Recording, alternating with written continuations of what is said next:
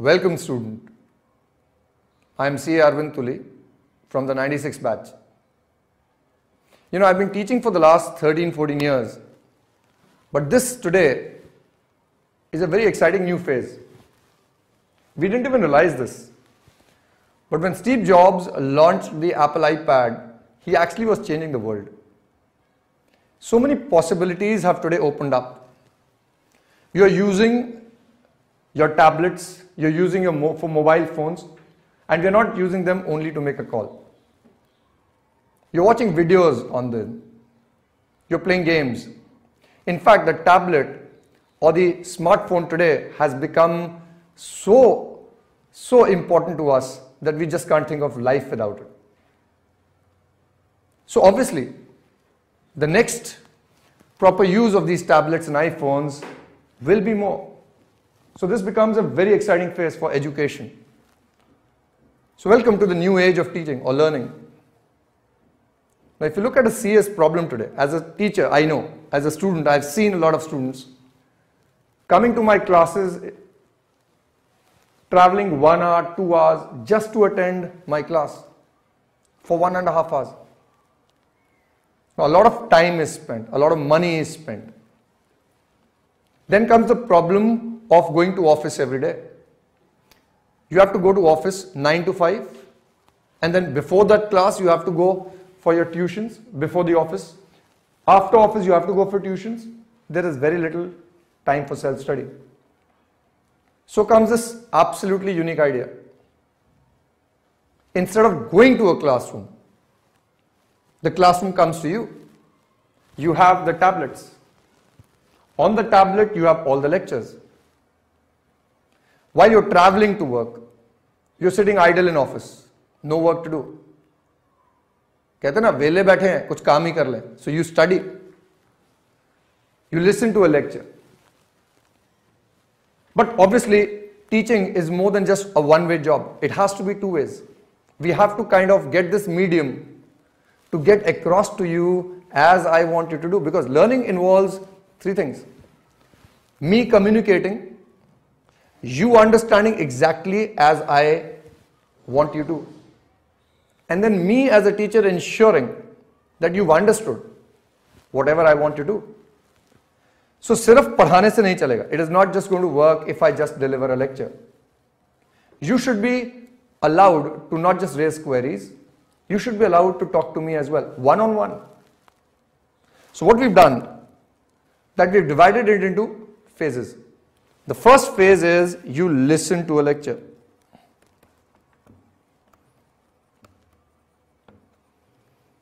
you could be listening to this lecture while traveling, you don't have your notes in front of you, doesn't matter.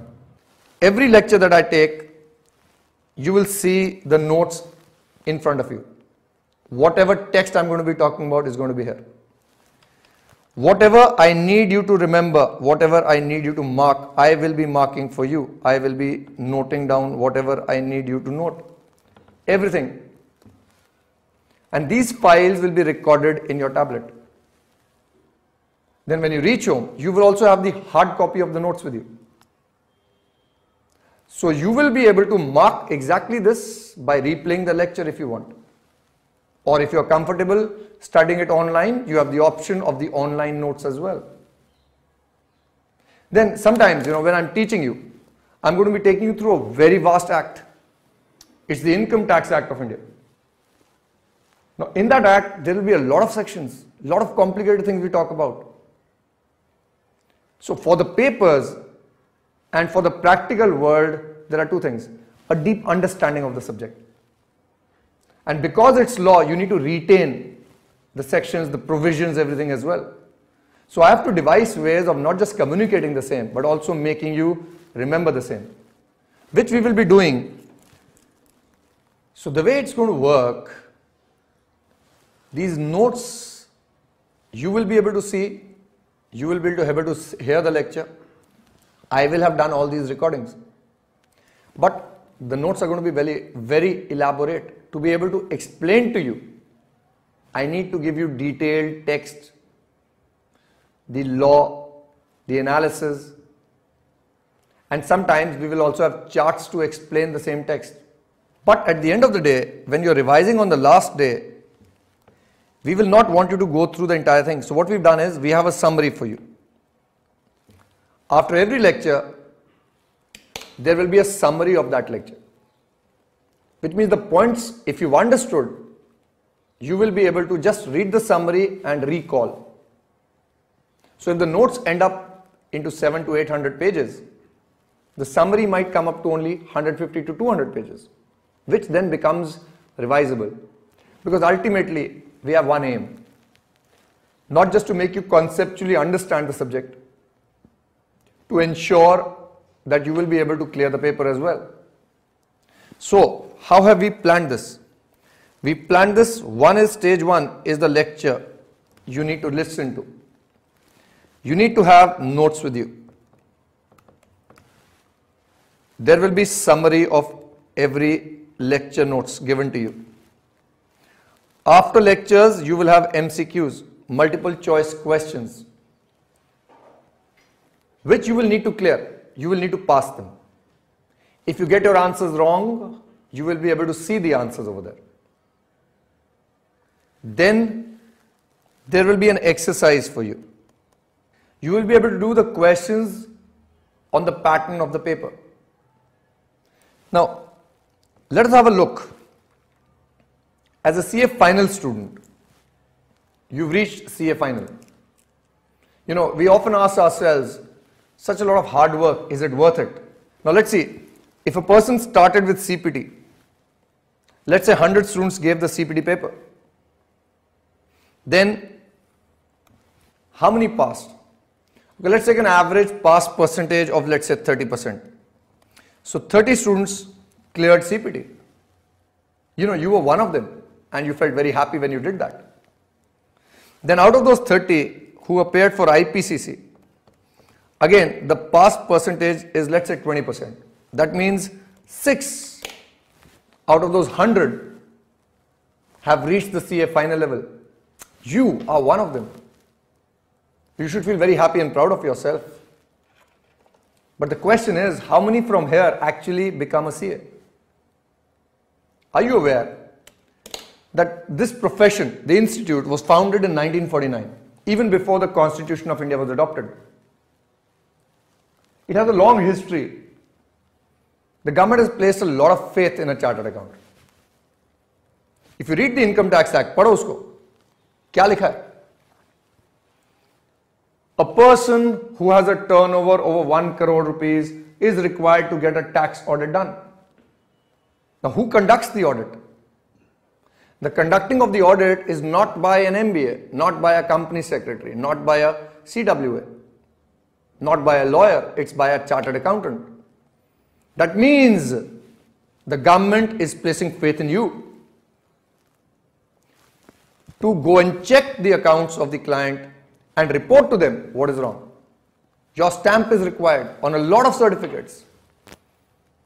Property कितनी है उस पर certification चाहिए transfer pricing में there is a C certificate required so the act not just the income tax act the VAT act excise act so many acts every act places the responsibility on a chartered accountant so yes the degree is worth it this is the only degree that allows you the flexibility, okay, not the only, maybe one of the only degrees that allows you the flexibility, नौकरी करनी है job करनी है job करो practice करनी है practice करो it allows you to be experts in not just one field look at the world you can be an expert in accounting you can be an expert in auditing you can be an internal auditor you can be a statutory auditor you can take up income tax as your expertise area उसी में super specialisation करो and even in income tax, you have so many fields. You can be a non-resident expert. Today there is a growing field of something called transfer pricing. You can be a transfer pricing expert. You can be an indirect tax expert. You can specialize in service tax, excise, customs. You can be super specialization in so many areas. You can go into the financial part of the organization. You can go into budgets, forecasts, so many lines. Which other degree allows you the flexibility? And then the job and the remuneration. Or I'm sure most of us looked around And I do believe that a chartered accountant never really fails. Whether he's in his own line or in any other line, this course will make you so strong. It will inculcate discipline inside you, self study, that you will end up doing well. So let's see how many from here actually become CAs. The pass percentage, even if I take a good percentage of 20%, leaves you with. So if I look at the final pass percentage, out of 100, 1 becomes a CA. No wonder that till date, roughly around 2 lakh people have cleared this course. But those 2 lakh people must have been doing well because today, there are almost 11 lakh students as per our president's speech doing CA at the moment. Yes, there is competition. Yes, it's tough. But then there's that famous saying, when the going gets tough, the tough get going. And I have a very, uh, you know, important saying that I would like to share with you. You know, my teacher gave this to me when I was very young. It's a saying that goes, little by little an hour goes by, little by little a day. Little by little you reach your goal or let it slip away. Nothing happens overnight. छोटे छोटे steps धीरे धीरे अगर हम आराम आराम से if we can slowly keep doing everything understanding it keep working hard put your head down then trust me nothing is difficult if you've made up your mind to do CA you will become a CA but at CA final level as I said there must be this internal desire to learn I'll share with you a story uh, which is a very uh, interesting story as far as I am concerned. This is a story about Socrates, uh, the famous philosopher from history. Now Socrates ke paas one day a student goes. So he says, Socrates, you are such a famous philosopher, you are such a learned teacher. Teach me everything you want and I will learn. Now Socrates obviously with all his vast experience understands this desire, this anxiety, this hurriedness to learn everything cannot be satisfied by someone else, it has to be satisfied by you. So Socrates, what he does is, he takes the student and he walks with him to the riverbed. Then he holds the neck of the student and goes into the river. He keeps going. The water climbs. Pani And the water climbs more. Now the student is wondering, what is wrong with Socrates? I will die like this. And then Socrates holds his head and puts it underwater. For a minute, the student thinks maybe this is the way he learns. Maybe he's a great philosopher, he knows what he's doing. And then the student realizes, I'm going to drown. Then the student struggles, kicks, but Socrates is strong, he holds him there. And then the student suddenly faints. Now, Socrates takes him to the riverbed, gets him to get up, and the student is very angry. He says, What the hell was this, Socrates? What were you doing? What were you thinking? And then Socrates says, He says, When your desire to live, sorry, when your desire to learn is as much as your desire to live, oh, you will learn. Because remember, no teacher can teach you anything unless you are ready to learn. So I like the wordings uh, which Socrates has used at times. I will show you one of them. He says, I cannot teach anybody anything. I can only make them think. So my dear student, my job over here is to raise questions in your mind and help you find the answers. And in this journey, hopefully we will enjoy the subject that we are doing. So after having said that, let's now see what our level of preparation is going to be. You know, let me compare this to something like a subject like maths. You did your maths right through school. You did it in class 7th, you did it in 8th, 9th, 10th. Maybe some of you even did, did this maths in 11th and 12th. Now, tell me, the subject was mathematics, but was the level different? Now, if I look at income tax, the first time they teach you this income tax act, is an IPCC. But in the IPCC, all they teach you is the calculation of total income. They do not teach you interpretations. They are not preparing you in IPCC to handle complicated queries. They are only giving you a good brief idea and intricate knowledge, yet not complete. So in CA final, let's have a look at the syllabus given to you. If you look over here, it says to gain expert knowledge. I like you to less, uh, lay stress on the word expert. To gain expert knowledge of the provisions of direct tax laws. To acquire the ability to apply the knowledge of the provisions of laws to various situations in actual practice. वो क्या कह रहा है Become an expert. Because children, the moment you become a chartered accountant, people come to you not because of you, but they come to you because of those two alphabets before your name. They come to you for those two alphabets CA. You're no longer an individual, you now belong to a fraternity.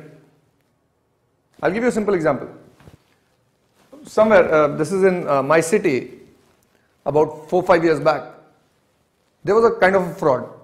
What a chartered accountant uh, brother did, he defrauded the income tax department by taking falsified refunds, fabricated returns filed, and he took returns, refunds to the tune of 2 crores.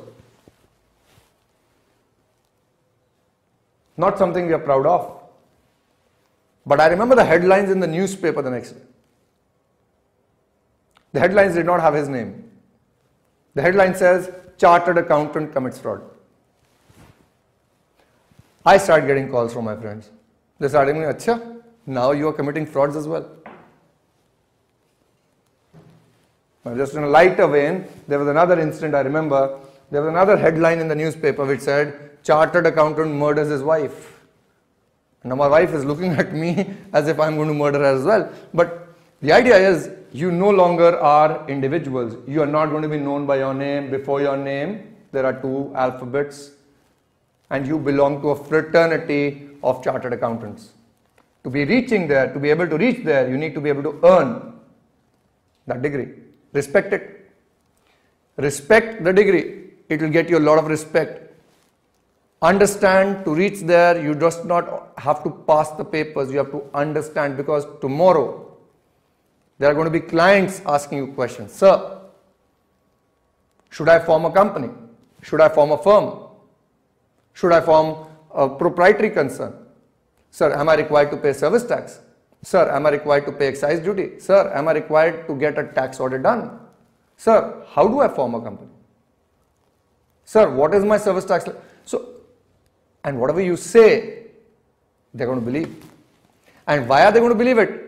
Not because they trust you, because they trust these two alphabets before your name. That is why, my dear friend, the institute says these are alphabets of trust. So take your words seriously. Take your words seriously, I said. Whatever you say, think because there might be somebody believing you so much, he might actually go and invest crores of rupees based on your advice.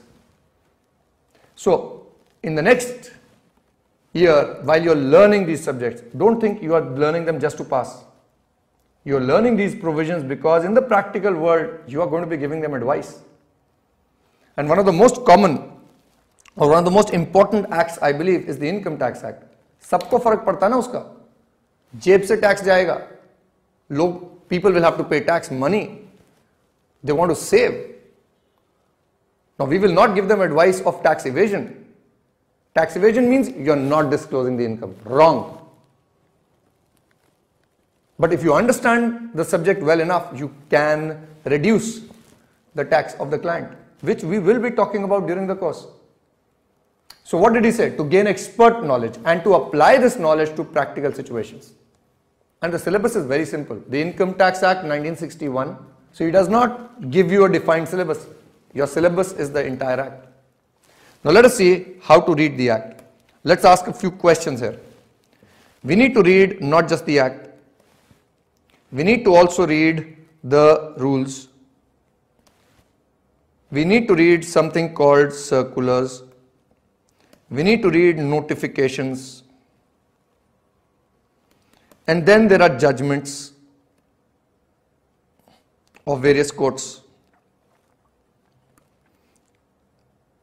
tribunals.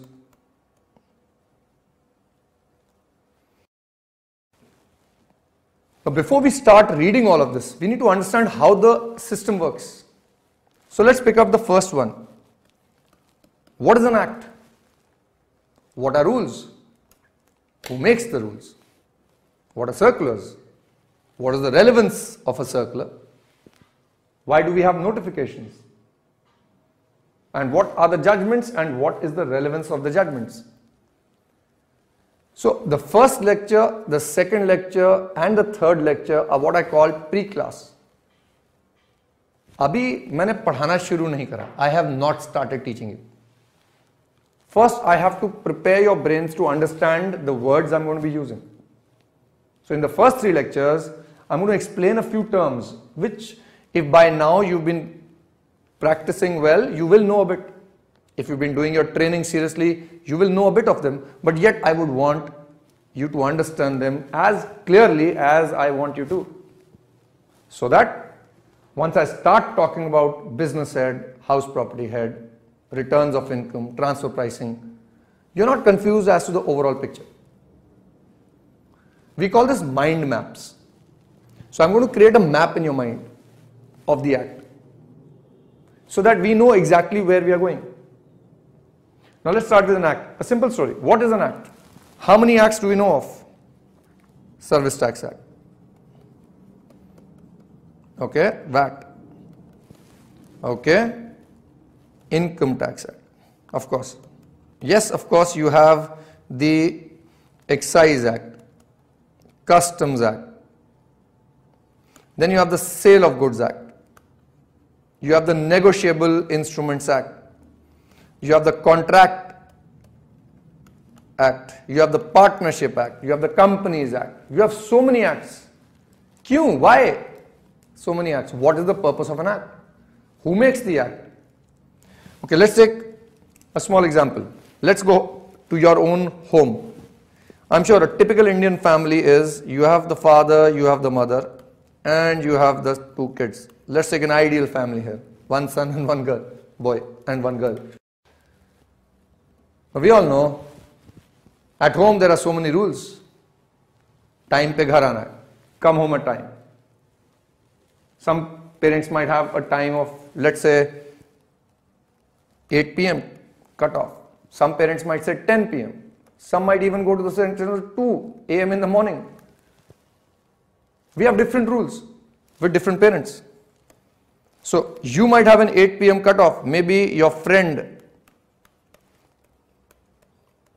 has a cutoff of 10 p.m. That means each set of parents. So now let's see what happens when this family grows. Now your family has additions. You are married. Then you have children. Now let's assume over generations, this family becomes a big family. Children and their children and their children. Obviously, it, I'm not saying it's happening in one lifetime, it happens over a period of time. Now, how would this head ensure that the entire family follows the rules they want. Because these guys, the head, is responsible for running the house. And they have full control. They want to have full control. What do they do now? So, if they gather the family and they give them the rules orally, it's not going to work. For example, you know, I tell you, okay, beta, your cut-off time is 8 o'clock. Now, what you do is you understand what I'm saying, but use your own discretion. So, I am, suppose, the head of the family, and this is you. So, you've been told 8 o'clock is your cut-off time. So, at night at 8 pm, I'm waiting, the head is waiting, you're not there. You don't come throughout the night. And then in the morning at 7.59, you walk in. The head is angry. He says, you are supposed to be here before 8. And you turn around and says, look, it is still not 8. I am here before 8. So obviously, what the head wanted you to understand was 8 p.m. But you assumed it's 8, so it could be 8 p.m. or 8 a.m. Now that is what is going to be confusing if the rules are not very clear. So what the head might do is then think of what he wants you to understand. He might write down the rules. And he will then visualize if he says 8 o'clock, he must specify 8 a.m. or 8 p.m. And then he will keep thinking of these things and the book will keep becoming bigger, thicker and he'll write it down and pass it to the family for them to read and understand. Now the entire family might not read the book. So he might authorize a few people. He might say, okay, you will read the book. And then if any one of these people have a doubt regarding any point in the book, they will come and ask you. Then he might authorize more people. He might say, okay, you read. He might have different books now. One book on the rules of the timings, one book on the rules of how money will be put in the house, one book on the rules of how the expenditure will be incurred, and so on. Just giving an example. Now, if I take this family as our country, and I take this head as the government of our country, then these books that they've written are called the acts. And these people authorized over here could be a chartered accountant, could be a lawyer, could be a CS, could be a CWA. Each one authorized to read a different set of books. For example, the CA is more concerned with the financial running of the organizations, taxation angles. So he is asked to read income tax acts, excise acts, customs act. The lawyer is more concerned with the other uh, legalities, the property acts, the criminal acts, and so on. So what is an act? It is a set of rules. Why are there so many acts? Because the rules regarding service tax kon pay karega, who will pay service tax is written in the service tax book. And it's another story we will learn that there is no separate service tax legislation. We will do that. Why is there an income tax act? Because who will pay income tax is another set of rules. What is an excise act? It's another book with another set of rules. Those rules tell us who will pay excise duty and so on. So if I ask you, the contract act will tell you who can sign a contract? You know, you've all read the Contracts Act. Let me ask you a question. Can a minor sign a contract?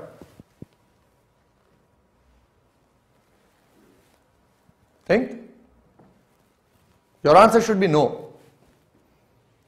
Because as per the Contract Act, the minor has not been given the authority to sign a contract. The Contract Act says every person competent to contract and then defines the person competent to contract as an individual of sound mind, not being a minor, and a separate legal corporate entity being a company which can sign a contract.